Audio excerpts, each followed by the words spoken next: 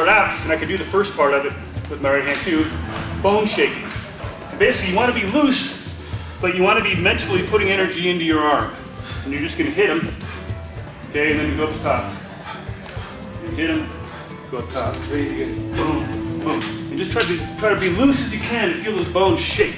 You'll find that, that if you're the one getting tight, you're going to be hurting worse than the other guy. The looser you are, it may seem weird, but energy flows through you when you're loose.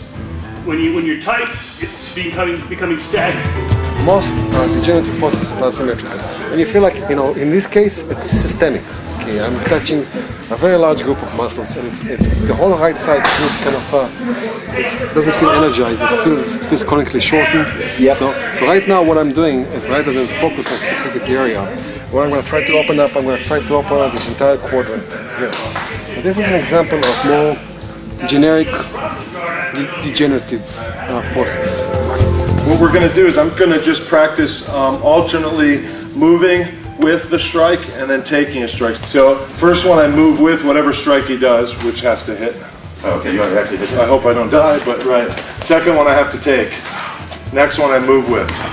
Next one I take from wherever I end up. You want to be able to alternate defensively between FU, which is what I call it, and actually I'm better off getting out of here, right? Sometimes you're cornered. You don't get to be all snaky and slippery. You just got you got to take it or get knocked out, right? For a long time, I was an outsider, even in my chosen field. You know, in a sense, it's an arrogant thing to say, but I know how to fight really good. I've been in a lot of fights and I know how to do it, but I've learned different things more than just fighting.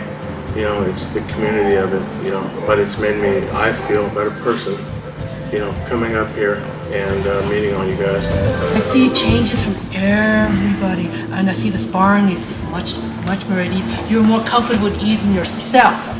You're not getting anxious and stressing, uh, not as much as it used to be when I first come in here seven years ago. It's very different now.